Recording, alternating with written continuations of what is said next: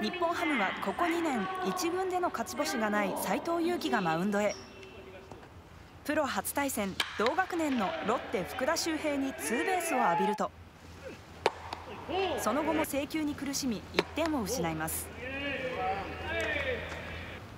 それでも続くイニングは思ったように投げられたと三者凡退。プロ野球人生をかけた10年目が幕を開けようとしています。一方斉藤からヒットを打った福田は続く打席も。逆方向へいい打撃ができたとスタンドイン。新戦力が存在感を示しています。少しずつ上がってきているのかなと思いますししっかり調整できればいいのかなと思います。